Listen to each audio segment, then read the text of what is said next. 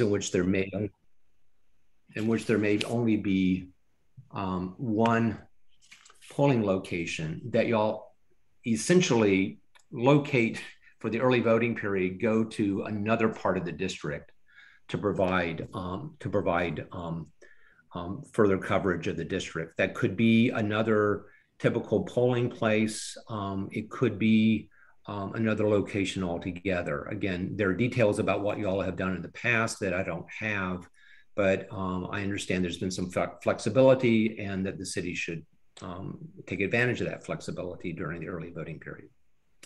Um, okay, so that's the early voting um, recommendation. The recommend or the report about the about polling places for election day um, I started from ground zero um, and tried to um, think about the issue um, from first principles, um, both that helped to inform the um, the commission, but also the citizens of Lowell.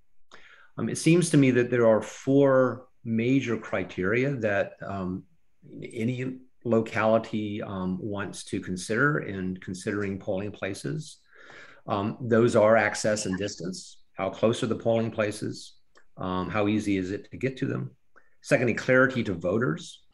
Um, you know, voters are, are creatures of habit. And so to the degree that we can adopt or use polling places that have been used in the past, that would be a good thing.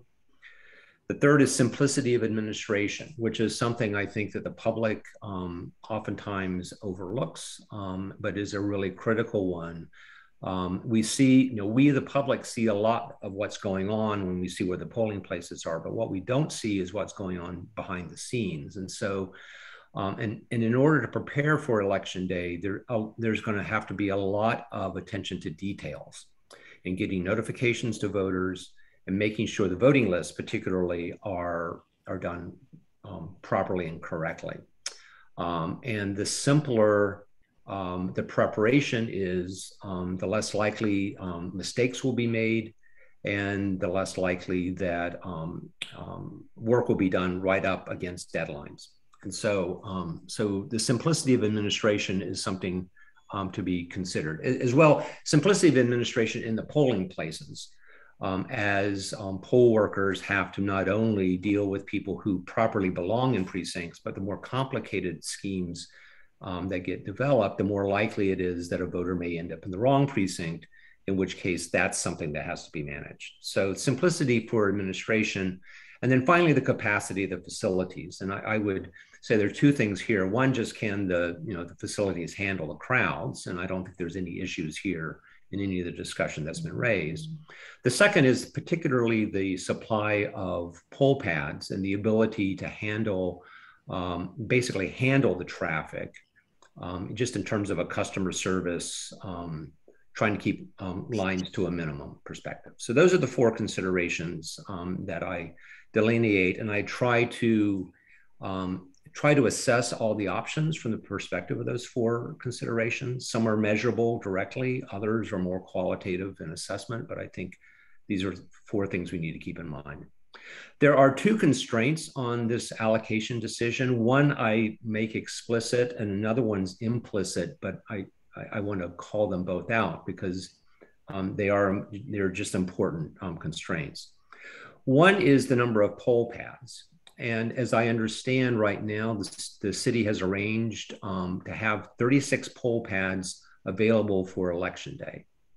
That may or may not be a hard constraint. Um, and um, I understand whether it could be lifted um, is um, probably up to the city manager. Um, um, and so, so it could potentially, in theory, be lifted. I have treated that limit as a hard constraint because that's the resource that the city has at the moment. It's 36, 36 poll pads. we want to allocate at least two to every polling place. Um, and that is um, both to keep the lines moving, but also if one of the poll pads um, goes offline, you have a problem with it, you have another one that can be that can be um, used. Um, and so it's really important to have two poll pads everywhere. Um, it's also important to have three or four poll pads in reserve in case something goes down and can't be revived. Um, it's important to, to have that, that sort of flexibility. So, in essence, um, given the 36 um, that the city could allocate um, safely 32 to 33 poll pads around, um, around the city on election day as things stand right now. The second constraint is just the current precincts. And, um, you know, I think there's some, there, there may be some hope um, that one could just kind of carve up the districts without regard to the precincts um, and just send people to the closest um, polling places. But that's practically not available to the city at this point, given the deadlines um, that we're up against, and also again, given um, the fact that um, the assignment of voters to precincts, by which I mean not only just the physical assignment, but getting that into the various databases, sending out um, announcements, getting the poll lists um, properly prepared, that has to happen flawlessly. Um, and so that to redraw, essentially redraw precincts at this point, um, I think would put at, at peril an accurate, um, accurately run election. So we're, we're constrained by the uh, assigning people in um, two polling places based on the precincts in which they live. Um, so, having said that, um, um, I'll make just a couple of points about the decisions that have been made and decisions that might might be made. Um, at the last meeting, there was there were votes taken um, essentially, I'll just describe it as two polling places for the largest districts, um, plus District 4. Um, the, um, the analysis in the report, which is um, referred to as um, splitting, splitting the districts in, in two, that's associated with that, that plan. Um, allowing for two polling places in most of the districts, as was decided last week, requires the deployment of 35 um, poll pads on election day. Um, and so, without the addition of poll pads available to the city, um, um the city runs the risk of not being able to respond in a timely fashion if something goes wrong with those deployed poll pads. Um, so in theory, you could do it with the resources you have, but you run the risk of, um, of something going wrong and one precinct, maybe two, developing long lines because of the inability to, um, um to get replacement poll pads in place.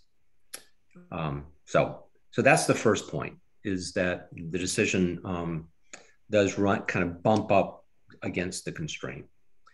Um, and so, if the commission um, wants to reconsider the, the decision made from last week, I it seems to me that there are three districts where it bears rethinking whether there's a second polling place on election day, and again whether concerns about proximity can be dealt with um, during the early voting period. The first one, which I explicitly direct um, um, talk about in the you know, in the report and include, include a map is um, District 5, where there's been exploration of using a Lowell Housing Authority facility, um, I believe on Chelmsford Street. And um, if I can just, let's see if I can quickly share my, um, share the screen and um, just show real quickly, come down to the little map that I prepared and make this larger. Ah, I apologize. But this is from the report, and this is an extract of, of District 5, which is the orange district here. And the issue is that the um, LHA facility is right where my cursor is, which is on the boundary of the of the um, of the district. Um, the plan would be with with LHA, um, I would assume that these districts, uh, these precincts, voters in these precincts, um, eight two, Um, this is 10-1, um, 4-3, and that little snippet, if there's anybody in there, and, and um, oh, actually, no, I'm sorry, in, in, in 10-1, would um, go to the LHA facility. Now, the issue with that is that um, most voters who live in Ward 10-1 actually live closer to Butler, who live, live closer to Butler. And in fact, that is the polling place that voters in Ward 10-1, that voters in um, Ward 10-1 were um, assigned to, for instance, in the presidential election. So by um, um so if we were to have the LHA facility which is in 10, 10 1, and, and um, assign voters from that, that, precinct plus the other two that are, you know, 4 3 and 8 2, then we first of all end up sending a lot of vote, a lot of voters um, to a polling place that's further away from them. Um, and therefore, the proximity issues really are not well addressed um, by um, adding that second facility. So Butler, Butler is basically in the middle of the precinct, I'm mean, rather middle of the district.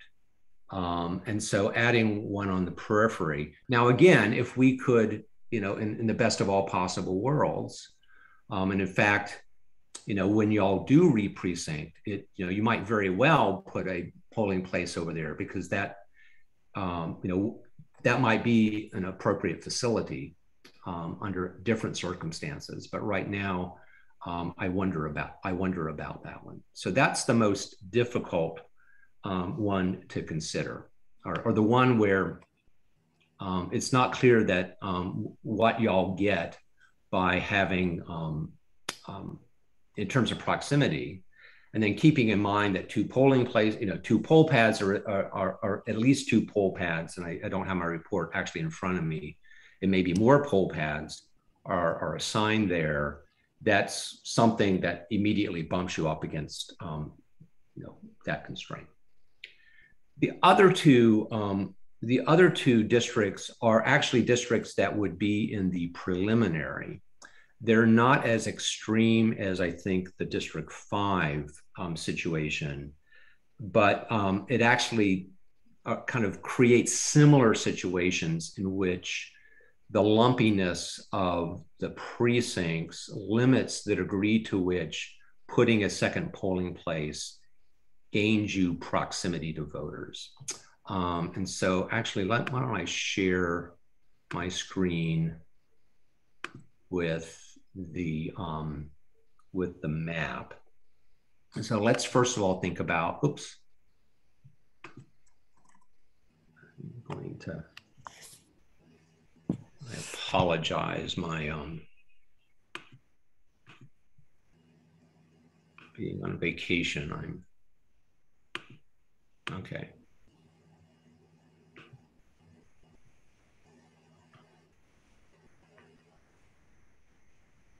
So if we go to three, um, the the most centrally located um, um, polling place um, was the Reilly School over here, and the proposal was um, also to add Immaculate Conception um, as a polling place. Um, this is um, it's a similar issue to the one I just discussed, discussed with um, District 5, not as severe. Um, but it turns out that basically I'm going to draw, actually, let's see here. Draw a line this is going to be approximate, but you can see this line that I'm drawing. Um, basically, everybody to the right of the line is closer to Reilly, and everybody to the left of the line is um, close closer to Immaculate Conception. It turns out if you look at which I've done, you know, the the actual locations of um, the, you know, where, where residences are. Voters in Ward one in one one are obviously much closer. Um, but actually the voters in 11.3 and those few in 11.2 most of them end up being further away from immaculate conception than to Reilly so you do get you know because almost everybody in 1 1 lives closer to immaculate conception and then but large numbers in these other precincts um, that would go to immaculate conception live closer to Reilly you get limited um, limited help again um, by choosing a polling place that's on the on the periphery um, of the district. Um, the and I'm going to get this wrong. I always do, and I apologize if it's the Penn School or the Pine School. Um, um, it's also in the periphery um, of of the precinct of the district, and I believe that when we we met informally to kind of talk about facilities in this district, that right at you know, basically the really middle of the district um, is either um, small commercial or residential and doesn't have facilities that are appropriate for a polling place. So this is this is a tough district in terms of proximity, um, and adding a second polling place not as bad as five, but but still tough.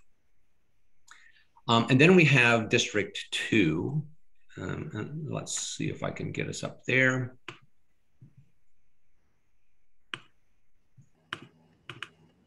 And I'm going to have to figure out how I stop drawing lines. Okay. Um, so district two is up here. Um, that. So district two is up here. The um, proposal was the Robinson School um, with um, first Robinson and then adding Green Greenhalge. Um, again, this is kind of a similar issue where you do get um, a couple of the precincts, voters from a couple of the precincts closer to Greenhalge, but a lot of voters in actually in 9-1 where Greenhalge is, is located live closer to Robinson. Um, so um, all these things considered, um, and and the report goes into more detail um, than I've been able to go into here. But all things considered, that is, you know, the constraints about um, um, about poll pads, the number of voters who might be in particular polling places. I, I proposed a, a plan that would have only um, a single um, polling place in districts five, three, and two. Um, again, where I think five is the one that's the most serious one um, to consider. So that's, um, I mean, that's the summary of, um, of my report. And I'd be delighted to talk about it with the commissioners and the staff.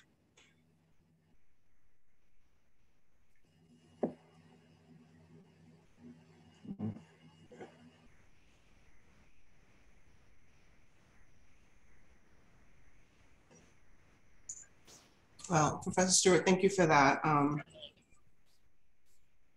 thorough um, synopsis of the polling places. Um, we appreciate your time and the effort and everything that you've um, just given us in terms of the information. Um,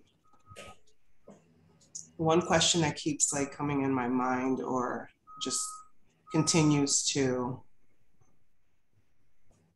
um, it just I, I just keep thinking about it. Um, understanding the logistics and understanding that um, probably um, reducing the polling location is again easier and mm, um, with the thorough analysis probably more beneficial um, to do so. But it comes back to um, what we can do rather than what we can't do. And I know that we're approaching this with a can do attitude um, because um, for me, um, and from what I've heard um, from a lot of different folks, um, the the um, the number of polling places matter. So um, even if there's just a few hundred or you know people that go to a specific polling place and like again you, you indicated people are creature of habits if they're used to going to that polling place they're used to going to that polling place. So messaging and given again our time constraint um, messaging is, is very important but it also could be lost in translation if someone is used to going to the Greenhalge school and they live closer to the robinson. For years they've been going to the Greenhalge school. They're still going to go to the Greenhalge school first even though they live closer to the robinson school so um, I guess my, my question to you is, given the poll pads restriction, I guess we have exactly enough and we do not, you know, I'm not sure if we're able to get the additionals in the, um, in the process or in time. Is this, is this election at all compromised if we continue, if we do um, split the, split the districts with, with with additional polling locations? Is it is do you foresee it really being compromised? Like, or can we have a fair election that is um, that is doable? Right. Now, those are those are good questions, and um, I'll um, um, I'm here. in a couple of ways. One, I mean, you ask, is it possible to have a fair a fair election, and I think absolutely it is.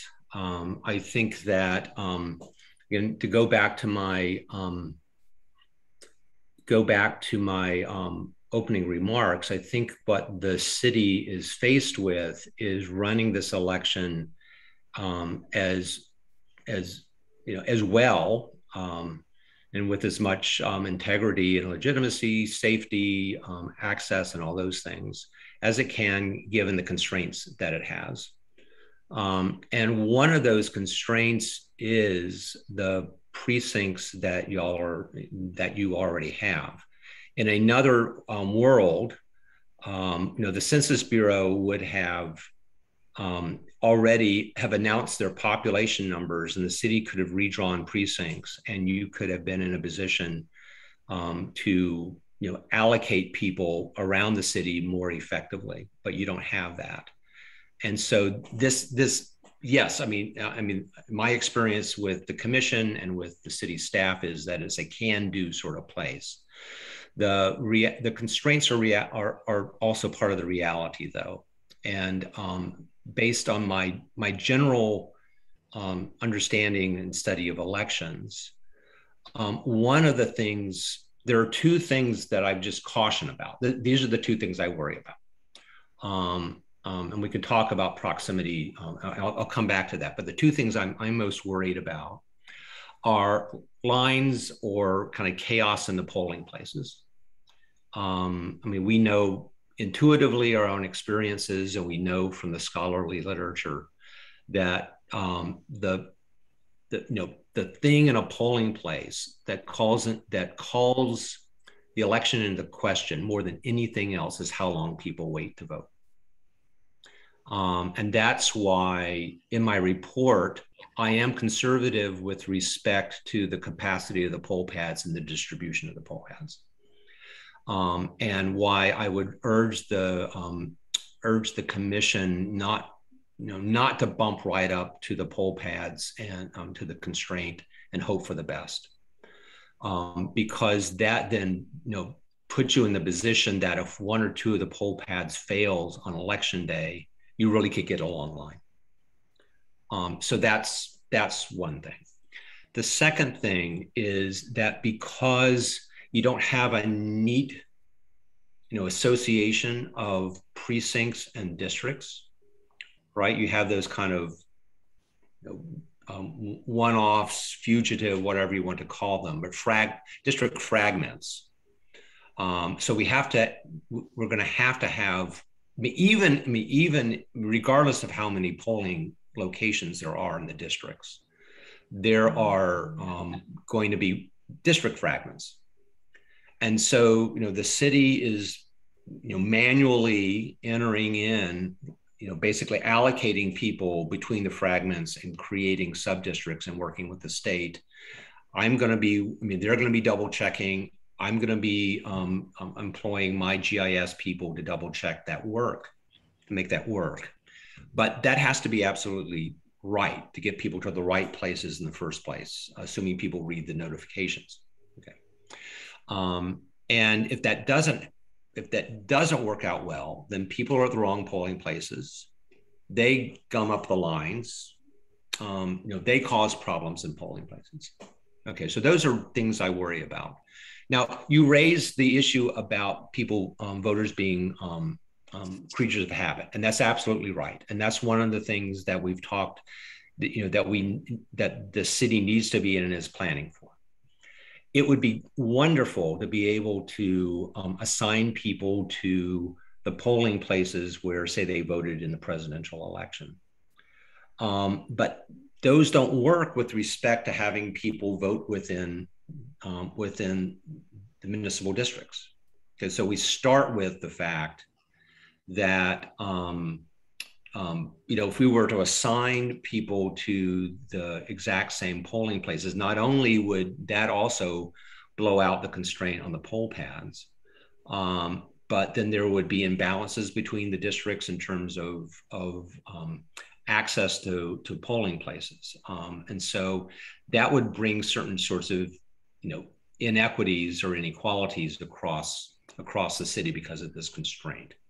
Um, and so um, it seems to me that the way to deal with the fact that voters are creatures of habit, um, um the way to do that um, under the current circumstances is, is, to have a very aggressive communication strategy, um, to work with the, the civic groups in, in the city in, on top of the official notifications that go out um, and also to you know to have a really robust educational effort and then also to have the resources in the polling places um, to direct people to the proper places if they end up going going to the wrong place.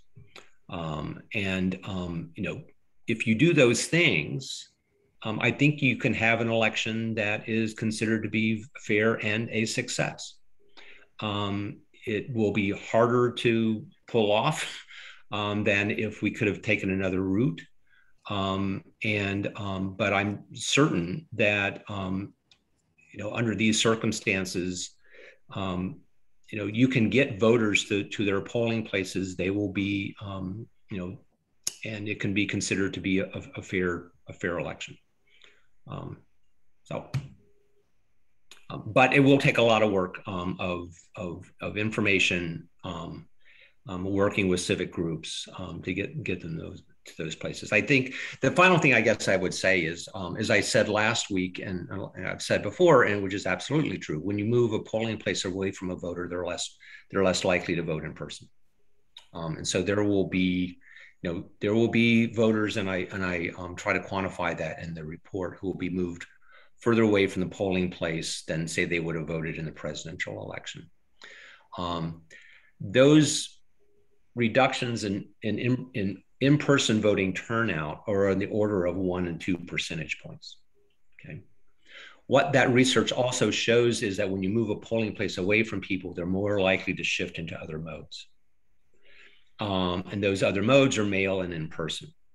So I would also say that um, under the current circumstances, a really important part of this overall plan is aggressively reaching out to voters to vote early, um, either in person or by mail. And I know the city is going is planning on, on sending out a mailer, um, um, notifying people, encouraging people to um, um, to um, ask for mail ballots. I believe that's going to be. I, will defer to the staff, but I believe that's going to be postage paid. so people can, from you know the convenience of their home, um, just request a ballot and and return it by mail or at a drop box. So in that sense, for you know the fraction of voters who decide to vote by mail, which could be, um, my guess would be maybe 20% um, of the registered voters that turn out in the election. You know, for them, it will be a lot more convenient, and that could ameliorate some of these um, proximity concerns.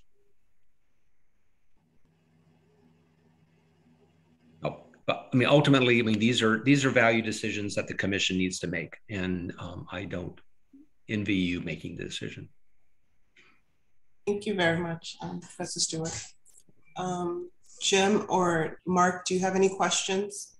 Uh, I have a couple of comments. Um, I'm a little disappointed in that, you know, months and months ago, we were presented with a plan by the legal department, which had one polling place per district. And now, after fire and brimstone or whatever, we have a plan which has five of the districts with only one polling place and three with two. So we haven't really come very far with all this.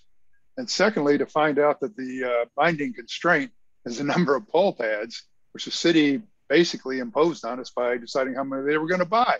And next year, you know, we had in presidential elections or in state elections, we've had 14 polling places, which is going to take a lot more than the polling pads they poll pads that they bought now. They could have bought them now, and that wouldn't have been a constraint.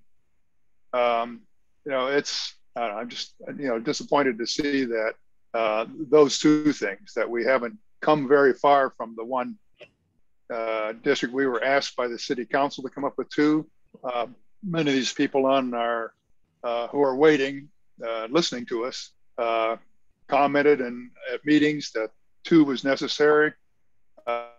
we've heard organizations, you know, lots of people saying you got to have two per district, and now we're down to five of them with one. And so I don't think we've come very far in the last, I don't know, however long it was, four or five months or even longer.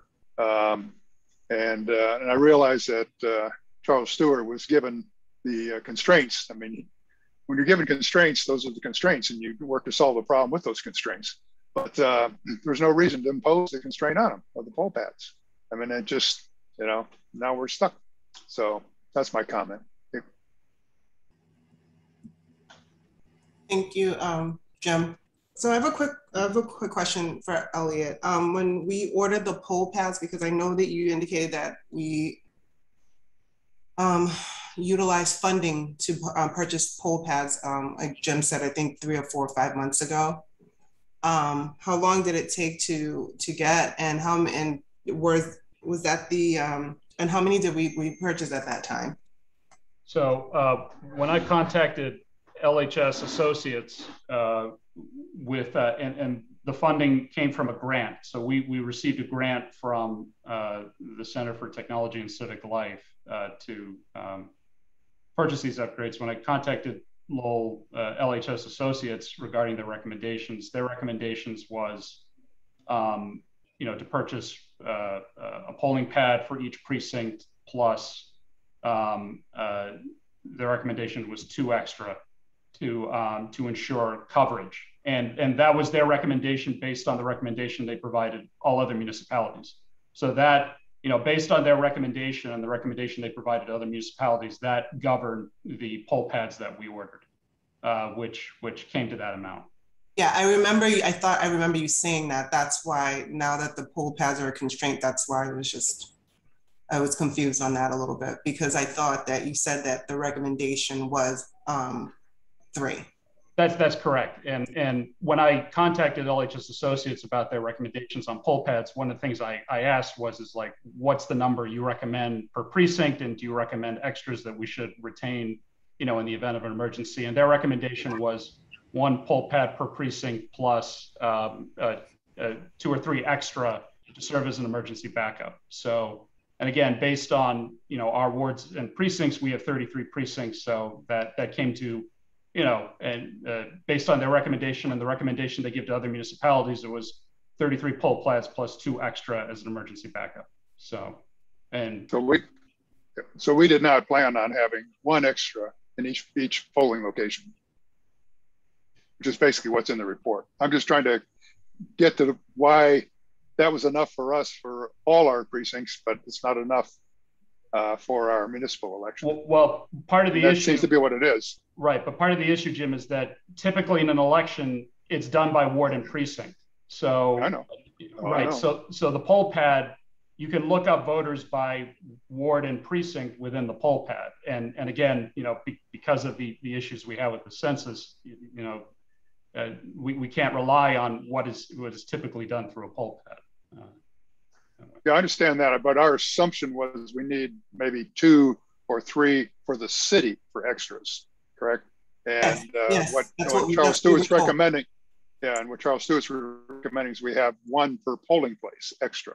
That's the difference there. Okay. So we could go back to the original assumption and that loosens up that constraint considerably. Uh, I, I don't think, uh, I'm sorry, uh, Professor Stewart, I don't. Well, well, I mean, um, that's not, ex- I, I'm suggesting that there be a minimum of two.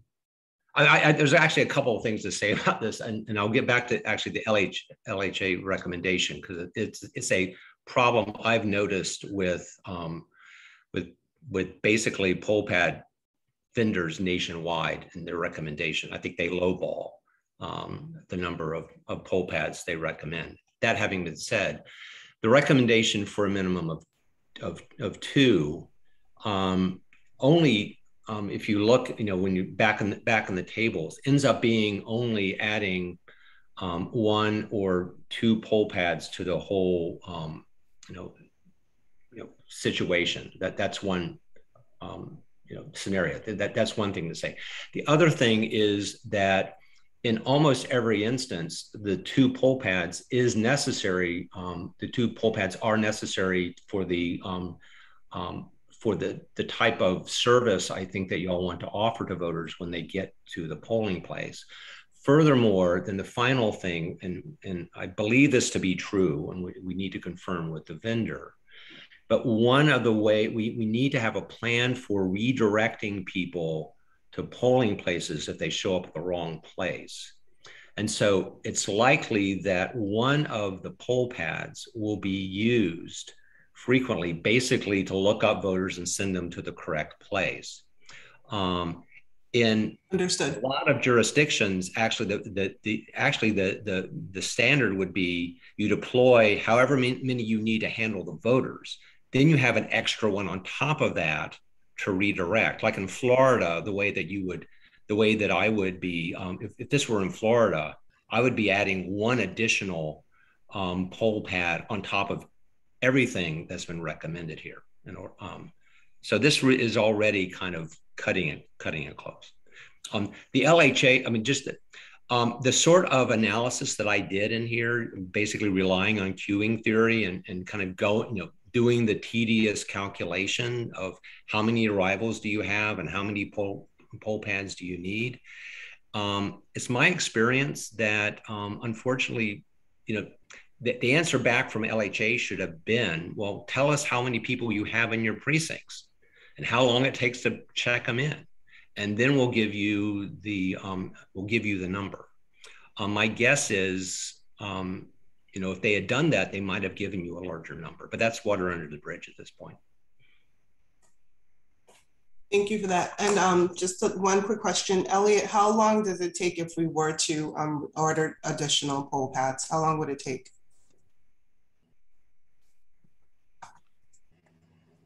Um, I'd have to uh, check with LHS Associates uh, regarding uh, availability. Um, I, I, can't uh, say, oh, I can't say at this point, but I, I, believe the solicitor is, is, on right now. Yeah, and then um, they, they were unable to join this meeting again, right? LHS? that, that's correct. Okay, thanks. Um, City Solicitor O'Connor. I, I was just going to ask um, uh, Elliot. I know that so on um, uh, Friday of last week, after we had spoken to Professor Stewart, we had talked about uh, immediately reaching out to see if there's something more uh, that we could do with respect to poll pads in the event that it um, played into his um, report, um, which, uh, which as it turns out, it, it did. So um, the um, um, again the we haven't had these this number of we haven't had these poll pads in the past. The reason that we are even in a position where we have the poll pads is because of the um, the grant that uh, Elliot had applied for and got, and I, I believe it was one of the more sizable grants um, that it was awarded in the um, in the state. Uh, that that's correct. It, it, it was one of the more sizable grants that uh, any municipality in the state was able to get, and we wouldn't have been able to get these poll pads without it. So, so and, and uh, thanks for that. And so, um, in any event, um, Elliot, I believe you had uh, followed up with LHS, and oh, yeah. there was an option of potentially um, leasing. Was it like four or six additional poll pads? The, but they are, but they're they're a fourth generation poll pad or something? that is correct. In terms of purchases, uh, they they don't um, have any in stock, but they do have uh, uh, they do have a, a, current stock that could be available for lease. But they did warn that these are sort of older generation poll pads. They mentioned that they're sort of four generations down in terms of their technology compare or or their capability uh, compared to the poll pads that we have purchased uh, through LHS through the grant so that's something that we can continue to to take a look at further to see if if it's um, you know if it's desirable to have um, older generation poll pads or if it ends up um, posing risks in terms of malfunctions um, with the older poll pads. But the um, at least in terms of leasing the poll pads, we would have um, some additional time before the before the general election. However, you know, as we all know, time is uh, 100% at this point. Time is of the essence. And I think uh, the commissioner had talked about that delicate balance between trying to do as, um, as good as um, can be done um, and, um, um, and also being mindful of the need to be able to give individuals time to um, to get that message out and to be able to work with other groups in getting that message out.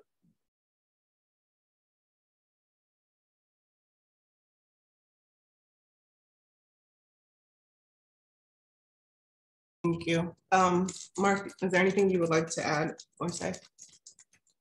No, I don't think so. Okay.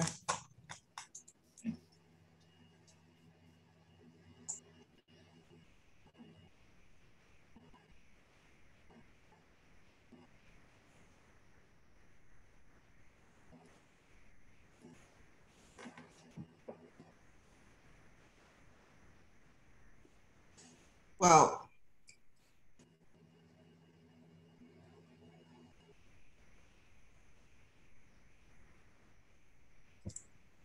um, okay, so I'm not, I don't,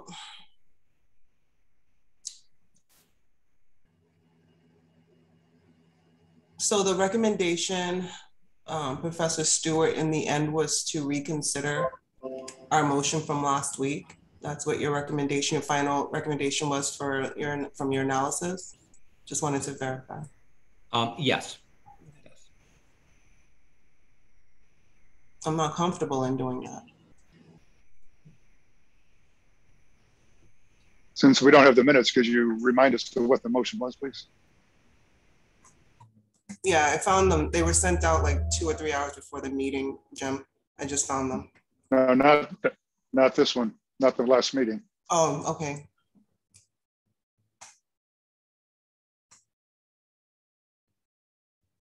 Elliot, can you remind us of the minute, I mean, of the, of the motion? Well, the, the vote from the last meeting was sort of an, an, an, initial vote of potential polling locations relative to, you know, those districts that um, had a preliminary.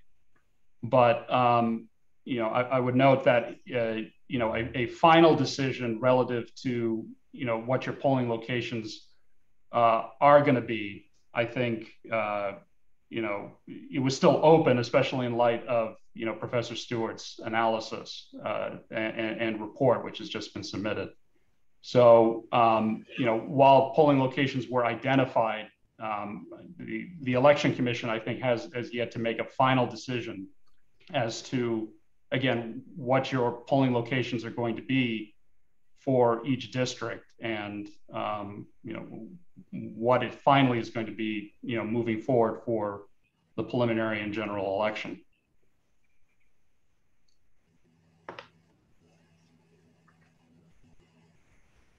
Which is, uh, again, now reflect, oh, I'm sorry, uh, and uh, solicitor. If, if I may, Yes, Chair? yes. So I was just going to say the, um, um, my understanding at least is the, there hadn't been any formal, um, um, um, splitting of the, uh, of the districts to date.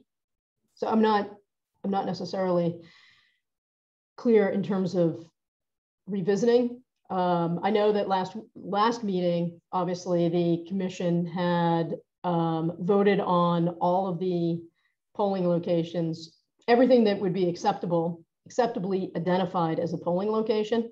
And then we had also engaged um, Professor Stewart to assist and guide in terms of recommendations with respect to the eight districts and, and, and which to split and where and how. Um, and um, so um, that's my understanding, at least, of, of what, of where things were. I, I agree, Madam Chairman. We have not decided on splitting Oh. districts and just in general what the uh, locations are.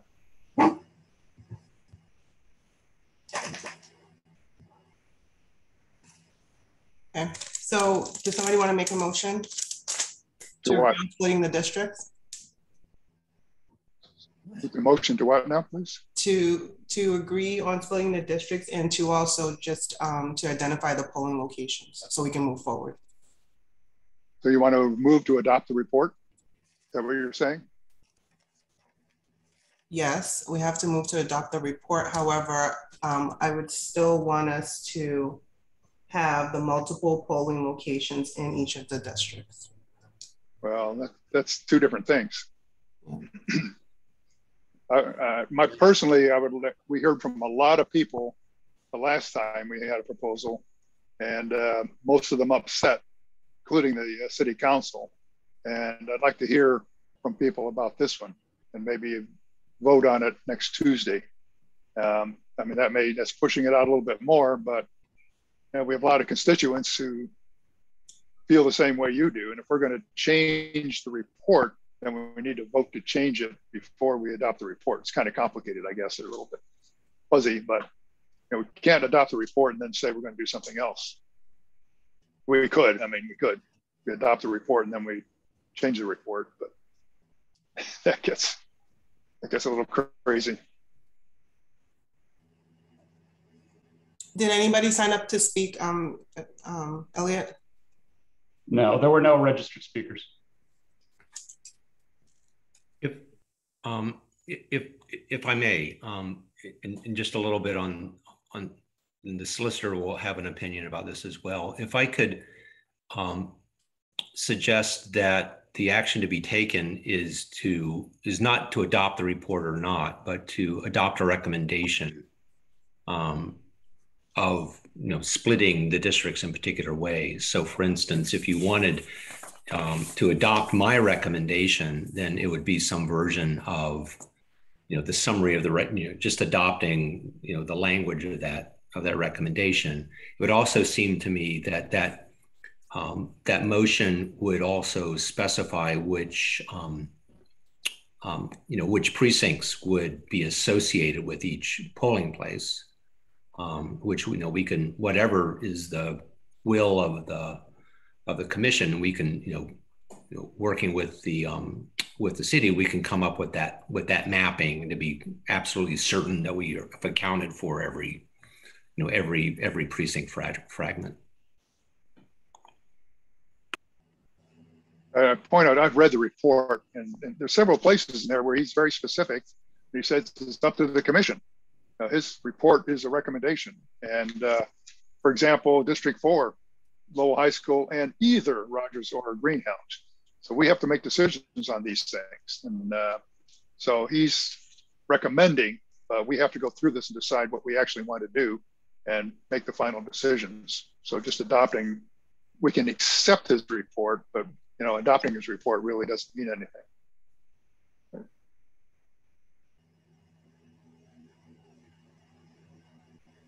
Okay, um, Uh, the, uh, the solicitor, uh, wishes to speak. yes, And and I just wanted to add on to that, the um, um, um, Commissioner Pope is, um, is obviously 100% correct. These are just um, these are you know recommendations from the um, uh, from the expert, but ultimately the the decisions are and and um, and remain with the um, the election commission. Um, I don't I know uh, Commissioner Pope had referred to it as a law department plan. Um, it was never a law department plan. Um, actually, I wasn't even at that meeting when um, when these uh, when it was presented. I hadn't. Uh, I've just joined it after the uh, after the fact. Historically, the law department has never ever been involved in um, in any of these types of issues other than just a reviewing of polling locations to make sure that they comply with the Massachusetts general laws, which um, you know in recent years that just hasn't been an issue, but but in the not so distant past um, it was. And so all of that is to say that that all of these decisions do um, you know ultimately rest with the um, with the commission and um, and whether it's been assistance from the law department, assistance from Professor Stewart, um, uh, this has been brought um, in an attempt to uh, to help in whatever way whatever way we can. Okay, so if I understand correctly, um, we can adopt the professor's recommendation.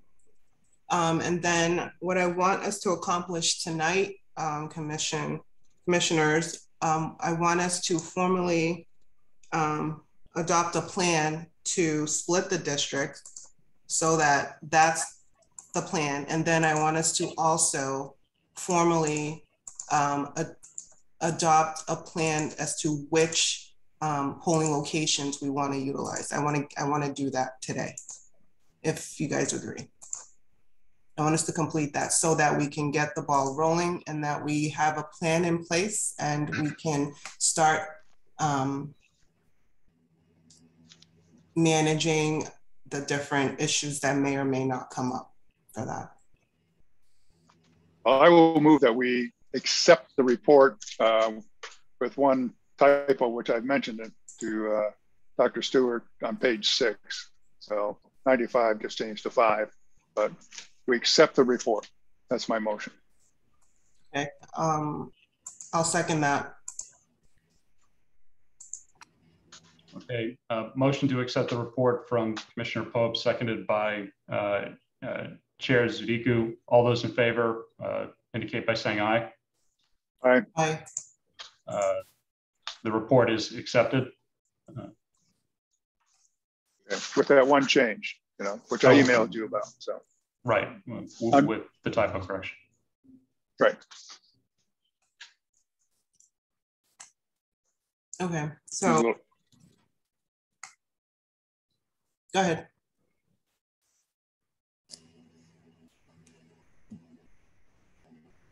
What would you like us to do next? So the next thing I would like us to um, to tackle would be um,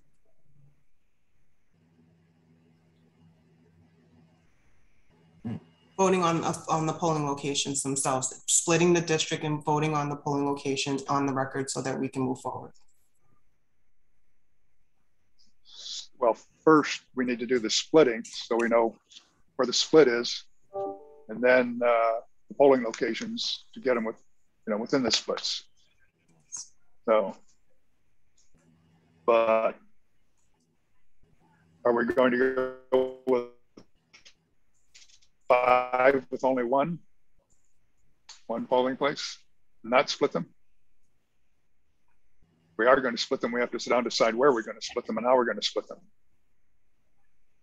I think we've done that legwork already, and I would like to um, take into consideration the recommendations from um, the professor when we did this last week. Um, so, Elliot, can you pull up the the map? Yes.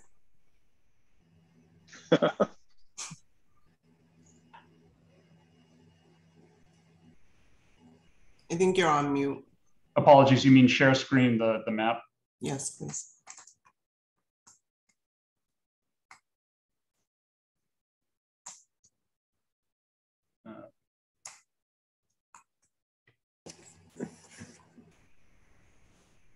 Okay.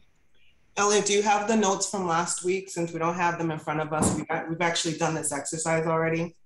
Uh, I don't have uh, uh, the notes from the meeting last week. Um, If, if, if, if, um, if I, if I may, I believe on page 11 of my report, I've indicated the precincts. Um, I believe that should be, um, assigned under my plan, but they were based on the notes that I took from last week's. Okay, let me pull, um, Ellie, can you pull up the plan, please? uh, page 11, yep.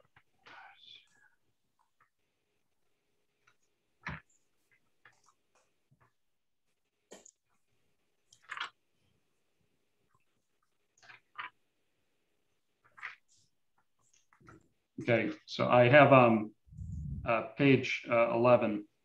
So, um, uh, and this is uh, from uh, Professor Stewart's uh, report. So this is page 11. So um, I can start, I can go by districts. Uh, Okay, Zoe, you can want- just share the screen. You can share the screen with that. Okay, um, let's see if I can.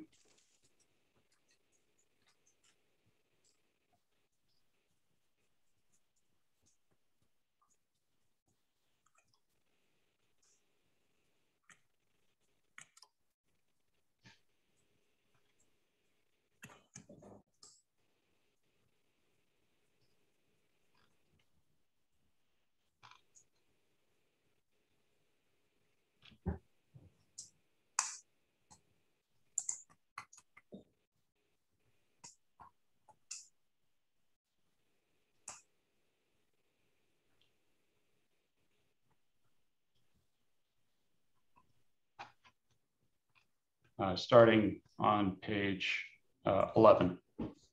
Mhm.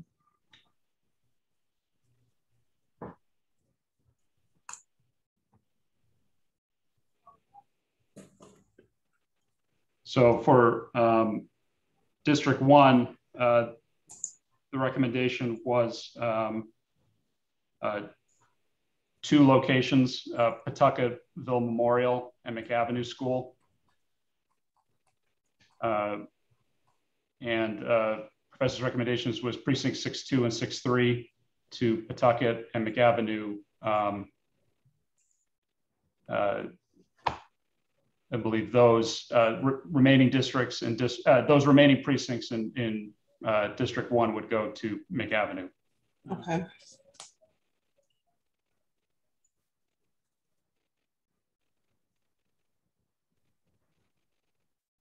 And then District Two, Uh, District Two, the recommendation is that uh, you have the Robinson as your polling location and nine one, nine two, nine three, five two, and, and those portions of five two and five three that are District Two would go to Robinson. Wait, yeah, let's do one through four, and then we'll tackle five through eight after. Okay, one through four, okay. So uh, for District Three, the recommendation is that the Reilly uh, will be the polling location and the precincts that will be assigned to it are one one, one two, one three, eleven two, uh, portions of eleven two and eleven three.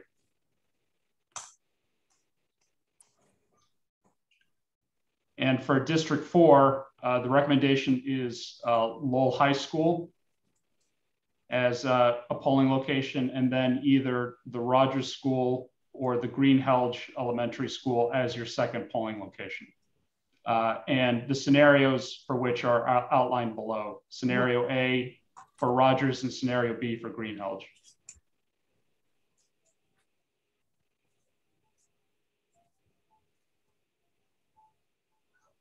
Okay. Um, commissioners? Any um, questions or comments on this? On, We're going to adopt this, we have to decide scenario A or B first. yeah, so um, I know we had a little bit of a discussion at, um, on this last week. Um, I don't see, it. I don't see um, a scenario C that includes all of them. That includes Lowell High, Rogers. And Greenhalge, right? No, but we can add one if we want.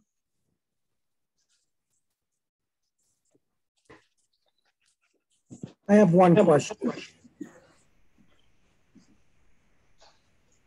Go ahead, go ahead, Mark. Yes.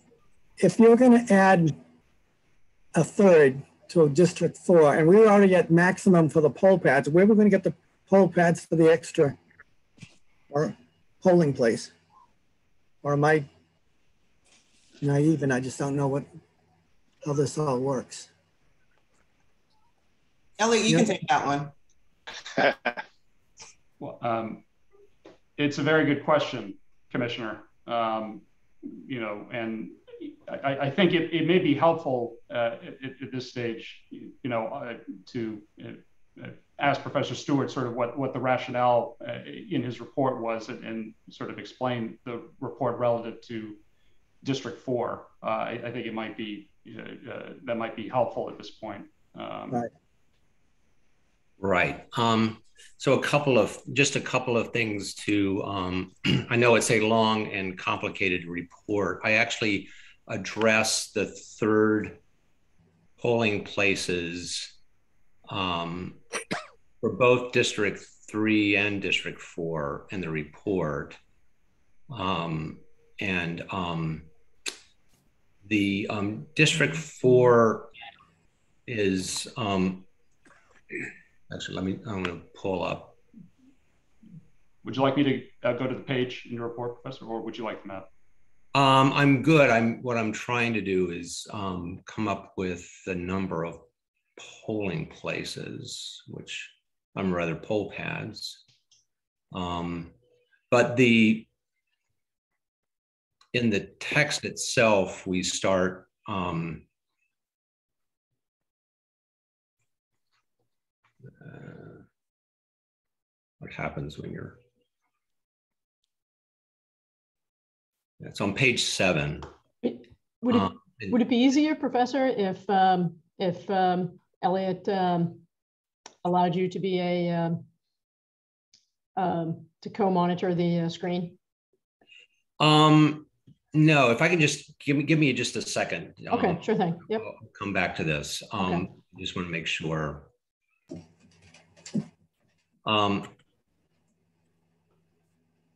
so the, the, there's two issues one one is that of of um proximity and of um and and of the poll pads the proximity issue which i discuss in the report um, is that um, um, District 4 is already um, a fairly compact district to begin with, and dividing it into thirds makes it a very, very compact set of sub-districts.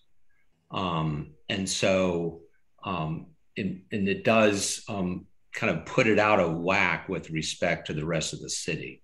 Um, now, I understand the reason why the the commission was interested in this. It had to do with the the barrier provided by the Merrimack River and the construction, the southbound, I guess, the closing of the southbound lane over the uh, over the bridge to the south. So there are obstructions. I've looked at the detours um, for the um, um, you know for the construction and you know the bridges getting over um, from the north to the south, and um, you know even with those considerations, you know, the travel distances in four are still, you know, much less than in most other of the of the districts. So that's one concern was that by dividing into three, you've now created three sub-districts that are really kind of tiny with respect to um, respect to distances. And then one has to ask why these districts and not others get to be that um, within walking distance. Um, the second issue has to do with additional poll pads.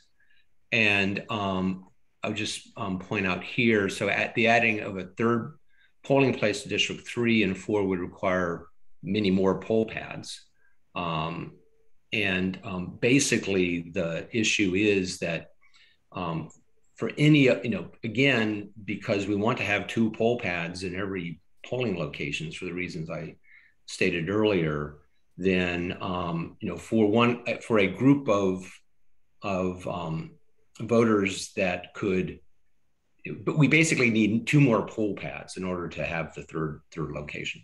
Um, and um, so those are my considerations. Again, it's not my decision to make, but I just wanted y'all to be aware of, um, um, you know, just the the size and the poll pad.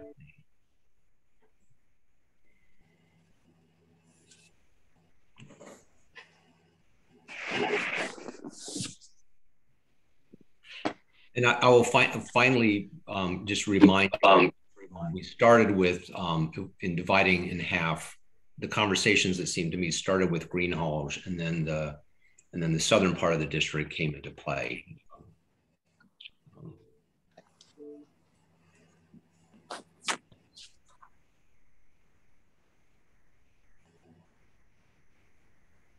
Right, thank you, um, Professor Stewart. Um, commissioners, what do you what do you think?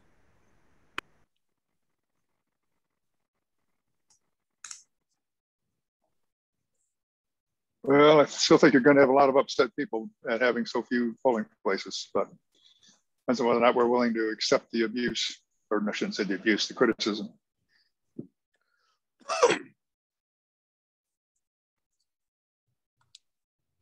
Um, scenario A or scenario B? Uh, let's go out. Um, A. What is scenario A? Lowell High Uh, School. Rod- Oh, here Rogers. School. Oh, I see it now. Lowell High and Rogers, and then scenario B is Lowell High and Greenhalge. Yeah, I recommend we do A. I would say A also. Okay, well, that's one decision. I would agree with that. All right, so one, um, District one, two, three, and four are now accounted for. Um, Elliot, did you want to continue with um, District five through eight? Certainly. Uh, For District 5, it would be the Butler School. And the precincts that would be assigned to it are uh, 4-3, 8-2, 10-1, 10-2, 11-1, 11-2, and 11-3.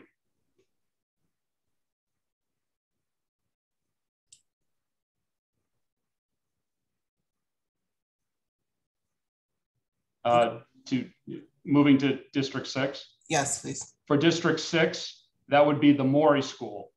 And uh, assigned to it would be precincts three, two, three, three, four, one, four, two, four, three, seven, three, eight, two, eight, three, ten, one. For District Seven, the polling location would be the Senior Center. Assigned to it would be precincts two, one, two, two, two, three, three, two, seven, one, seven, two, and seven, three. Okay. Mm, And um, then, go ahead. oh, I'm sorry. And then finally, for District Eight, there would be two polling locations. One would be the Daley School, with which would be assigned uh, eight, two, and eight, three. And then uh, a, second polling location uh, fr- uh, from which would be assigned three, one, three, two, three, three, and eight, one.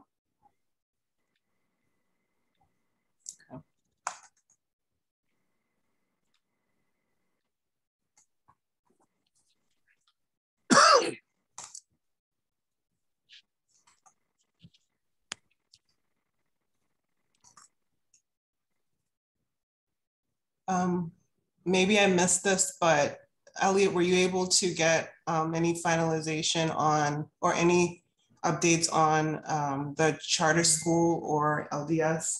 LDS has, um, LDS will not work. Um, I, I've, uh, they haven't responded and we have no communications, uh, with them despite multiple efforts. Uh, we, we, we will not be able to use LDS as a location.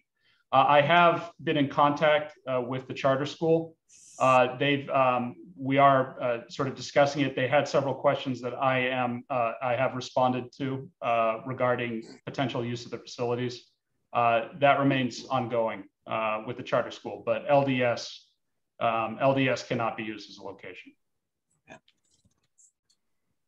So it would be the, most likely the charter school then, if it's for the second location. If, if they if they uh, uh, permit it and, and are interested in it. Um, I, I, I do note that um, uh, we do have uh, uh, you know another pre-existing polling location in eight, but you know the hope is that um, the you know the, the, charter school will um,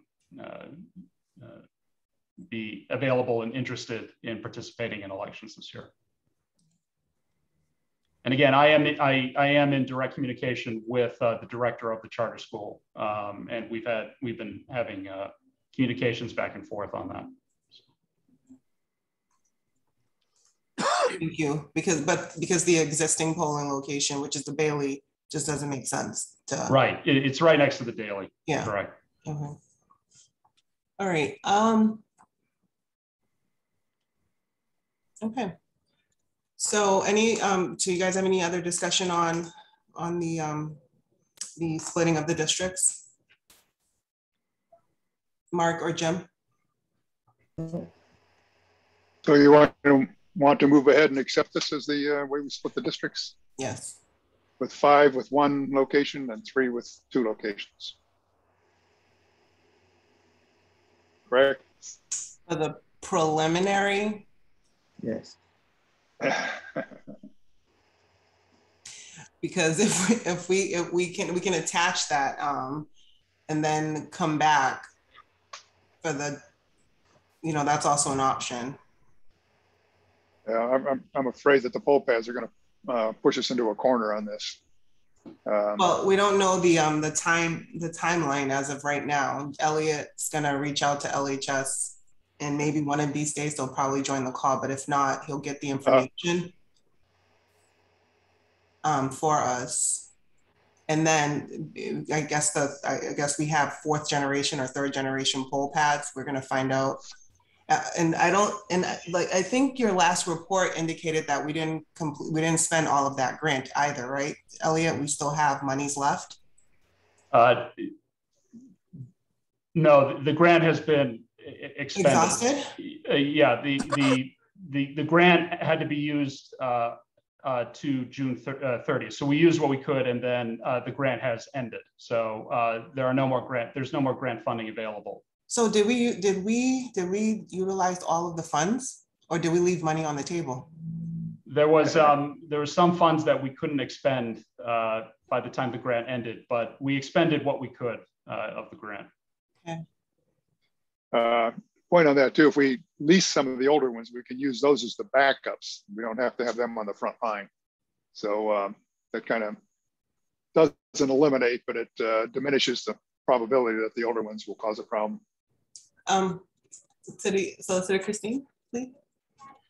The, um, um, yeah, so as far as the funding, um, I wouldn't anticipate that's going to be a problem um, at, at, the city's end. Um, you know, certainly the manager would support all efforts um, in this regard. And, um, and I think, frankly, there's also probably a distinct possibility that some of the money that will um, that would be expended on this election may very well qualify for um, under uh, COVID relief spending, um, simply because part of the reason that um, well, the, the, major thrust of of why we're dealing with these things is the lack of census, which which also ties into all of this as well. So the bottom line is um, the, the issue really isn't a, a, problem of funding so much as just uh, timing. And um, um, so uh, I'm sure Elliot will continue to work with um, LHS on this issue. Um, they did,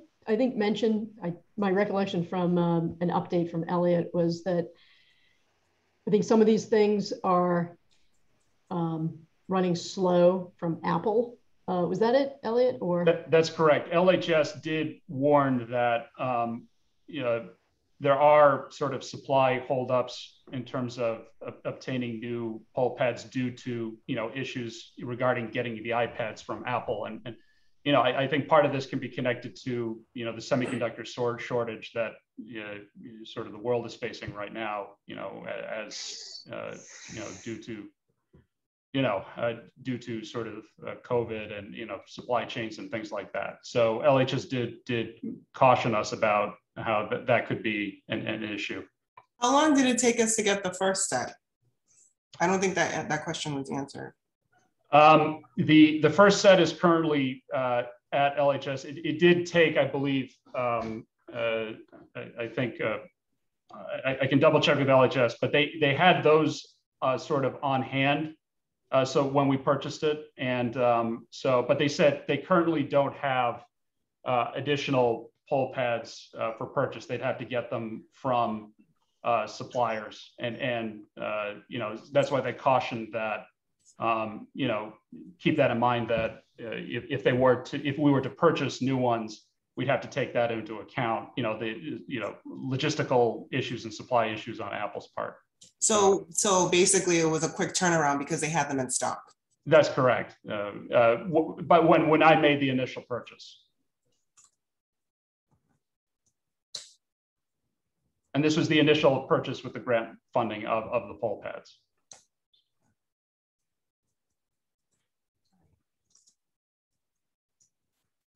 Jim, do you want to, any, you know?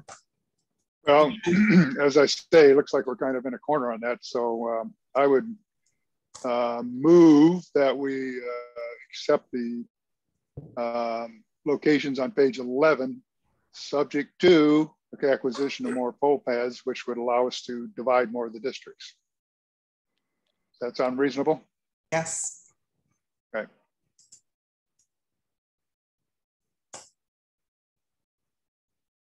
Okay. And I think that'll get us at least through the preliminary. Yeah, we don't want to get in a place where we say we're going to do something we can't. All right. Okay, because then we're stuck. Say we'll do this, and if we can get some more poll pads, then we'll revisit and divide. Okay. And Mark, what, what do you think? So that was a form of a motion? Yes. Accept, and I'll second it.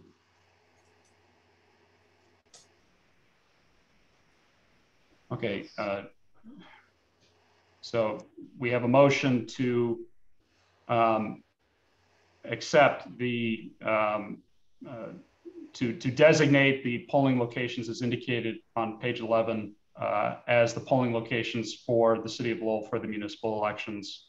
Uh, one small point was scenario A. Scenario A for for District Four. Um, all right. Uh, that is the motion from uh, Jim, seconded by Mark. Um, all those in favor, please indicate by saying aye. Aye. Aye. Opposed? Hearing none, uh, the motion passes.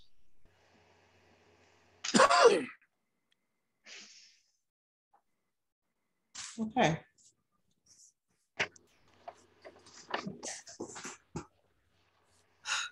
Um, next item on the agenda, I think we have to still approve those minutes. Uh, the the second I, uh, the last item on the agenda is item 3C. Uh, and this is uh, regarding discussion of early, early in-person voting hours and locations for 2021 preliminary election and a vote may be taken to establish such hours and locations. Okay, so what was your recommendation last week? for this? Um, as indicated um, in uh, Professor Stewart's report, um, there has to be a centralized polling location, and this is under state law. So state law requires that a centralized uh, early in-person voting location be designated in the city. Um, it, it, would, uh, again, based on our prior experience, especially with last year's election and the fact that the Lowell Senior Center was a successful early in-person voting location. I'd recommend that the Lowell Senior Center be designated as a, um, you know, as the centralized early voting polling location uh, for the preliminary and uh, the municipal election. So move. Second. Okay, I have a, well, uh, before you get the motion, the, the question now is if you want to use the Lowell Senior Center as a centralized polling location, what are your hours and, and times uh, and days that you want to, to do as, an, uh, as a polling location? You made a recommendation on this last week and, and to be consistent with what we did last year, and we said that's fine. Okay, so uh, last year, uh, the way we did it was it was uh, seven days of uh, early in-person voting. So it would start the weekend prior to the weekend before the election. So, you know, by way of reference, uh, let me just pull up the calendar. So with the preliminary election being on September 21st, if we if we go by the way we did early in-person voting last year, early in-person voting would start on September 11th, uh, which is a Saturday. It would proceed into uh, Sunday, September 12th, mm-hmm. and the hours that we would do that would be the same as the hours we did uh, last year, which would be from nine to three. And then uh, from Monday through Friday, which would be September 13th through September 17th, that would be early in-person voting at the senior center during the hours in which City Hall is open. So Monday, Wednesday, and Thursday would it would be uh, early in-person voting would be available from eight o'clock in the morning until uh, five o'clock in the afternoon. On Tuesdays, it would be available from eight o'clock in the morning until eight o'clock at night. And Fridays, it would be available from eight o'clock in the morning until noon. So that's that's how we did early voting uh, last year. It was seven days of early voting starting the weekend prior to the election. So and again, that was that was last year. So, up uh, uh, chair, I believe Professor Stewart uh, wishes. Oh, yes, Professor Stewart.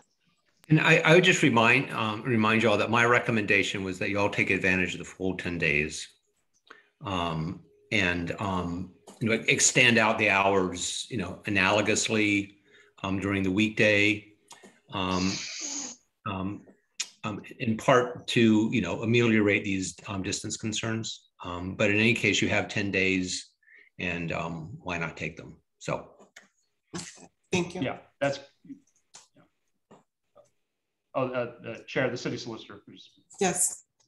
I, I would just um, uh, just to echo that um, that was also the the the special legislation that was filed um, by the uh, by the city and adopted by the city council was um, intended to um, to to take advantage of the full the full 10 days and so um, um, the um, uh, the council I think very much wants to see the city have the full 10 days and that's and that's consistent with what we've done in the past as well Right. So uh, uh, thank you. And and with the so with the additional uh, uh, three days on top of the the seven, that would take us to early voting for the preliminary election starting September eighth, which is a Wednesday. And uh, if the uh, commission would like, um, I think it, I think it would be helpful for consistency's sake to have the additional three days of early voting starting Wednesday be consistent with the hours that we would have on the weekdays the following week. So you would use standard city hall hours. So Wednesday and Thursday would be from eight o'clock in the morning until five o'clock at night. And Friday would be from eight to noon. So it's consistent with early voting, um, uh, early voting the following week. So, and again, so that uh, with the 10 days, it would start uh, September 8th and go through until um, Friday, September 17th. But we have uh, daytime hours in the weekends, correct? I mean, that's correct. It would be okay. on the weekend. It would be from nine o'clock uh, in the morning until three o'clock in the afternoon, and, and that's consistent with how we did it uh, last year. And then, uh, if I may, commissioners, uh, moving forward to the November election, uh, I can also uh, get the, the 10 days of early voting uh, there as well. If... So um, with uh, the election in November being November 2nd, uh, early voting would, the 10 days of early voting would start October 20th. So that would be Wednesday, October 20th, going through to um, uh, Friday, October 29th. And that would include, again, uh, a weekend of early in-person voting at the centralized location at the Lowell Senior Center from uh, Saturday, October 23rd to Sunday, October 24th. Again, uh, the hours would be uh, consistent with the hours for in-person early voting for the preliminary. So again, uh, hours in which City Hall is open on weekdays and nine to three on weekends.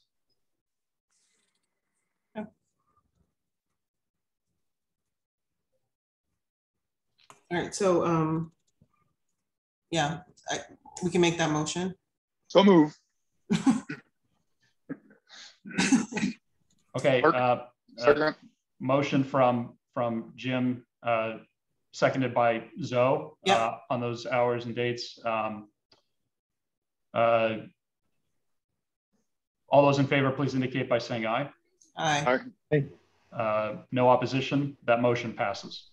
So, um, so that, that's for the centralized polling location. Um, I'll note that Professor Stewart, oh, oh, I'm sorry, go ahead, Chair. Mark, um, did you, did you have a question? No. Oh, okay, thank you. Sorry, go ahead, Elliot. Um, Professor Stewart also had a, uh, a recommendation regarding um, uh, sort of, uh, how do you put it, uh, like cycle, uh, uh, like an, a, an additional early voting polling location within each of the districts. Um, and uh, so for the preliminary, you would hold uh, sort of a satellite location within uh, each of the districts itself uh, to to accommodate voters uh, as well. So And which, which one is the satellite location? I know that we talked about this last week, so what did, um, I, I'm we can still look at. Uh, I I'm going to contact the school department and and see if we can use uh, the schools as a uh, alternative polling location, um, and we can also um, uh, see if there are. Uh, you know, additional locations within um, each each of the each of the districts that that we can employ. Um, you know, again, uh, within the district itself as that satellite early in-person voting location. right, so I think we, we talked about this last week. We said that let's utilize the, the schools, right? Um, and you said you were going to look into that. So- Yes, uh, I I am. I, I am looking into that uh, still with the school department to see if there are, um, you know, if we can reserve spaces within the schools, uh, you know, uh, for days for early voting. Part of the issue is that they can't cancel school for those early in-person days. So to the extent we can use it, we'd have to reserve a space within the school. Um, alternatively, there may be uh, other locations I'm looking into um, that could serve as a polling location. I recall that in 16, uh, the Cambodian Mutual Assistance Association uh, had uh, a space in their offices available that we used for uh, early in-person voting during that satellite location. Uh, I, I'll, I'll certainly, CBA, yeah, the CMMA. um, EMMA, CBA, Right. Uh, potentially, there could be other community partners that may be interested in hosting uh, early in-person voting at a time. Uh, uh, perhaps, and and it will certainly be dependent on within each district. So um, uh, we can certainly, uh, I can certainly look at that and and see if I can confirm uh, dates and times uh, for uh, each district for that satellite location. Um, for the preliminary, it would be again districts two, three, four, and seven. And then for um, the uh, final municipal election in November, it would be one for uh, each district. So, um, you know, again, as a satellite location, to be one location that exists within each of the districts. So,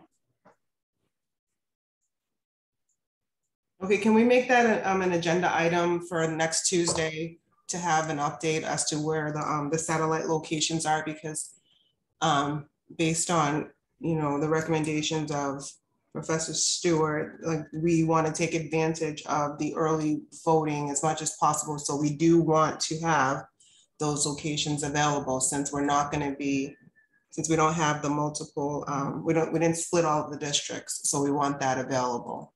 Definitely. I will, um, I will reach out and I will find, uh, locations that can serve as satellite locations, uh, for each of the districts. Uh, priority at this point will be given to those districts that will have a preliminary. So I will look into two, three, four, and seven to find, uh, where, uh, we can locate a satellite location for in-person early voting. I think we should actually expand that to all eight districts so that we can already have the, um, the places at hand and we know exactly where they're going for the, um, for the other, for the other, um, election as well. So I Okay, wouldn't just limit it to the four. I would limit, it- I would, um, just get the information for all eight. okay. Okay,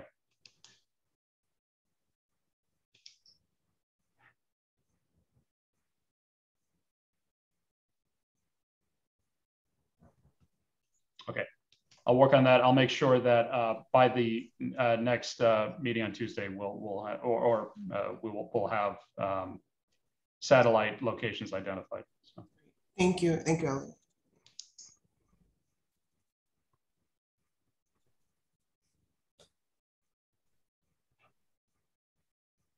Um, anything else on this line item?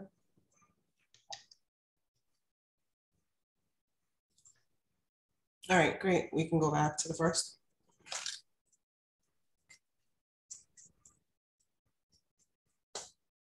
Okay, moving uh, back to item 2A, Yes, Uh, please. uh, vote to accept prior meeting minutes. So move. Second, Okay, motion from Commissioner Pope, seconded by uh, Chairman Zaniku. Uh, All those in favor, please indicate by saying aye. All right. Uh, Opposed? Uh, Hearing none, the motion passes. And uh, that is the agenda for the evening. Okay, Madam Chairman, um, before we adjourn, um, we did accept uh, Charles Stewart's report, which means it is part of the proceedings of this meeting. So it needs to be included in the minutes that are posted online with our minutes. And it also now becomes a public document. So prior to the meeting, we had to keep it to ourselves, but it's a public document now for anybody who would like to see it. Okay. Thank you for outlining that, Jim.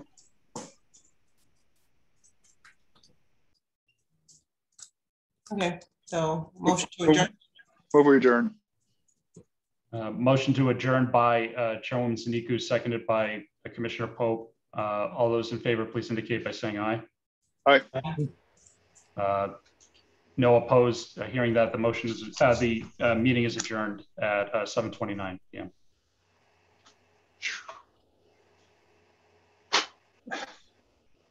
Have another one at seven thirty. And no supper yet. Okay. Oh, I suffer so much. Uh, Okay, Good evening, everyone. See you next. bye, bye-bye. Bye.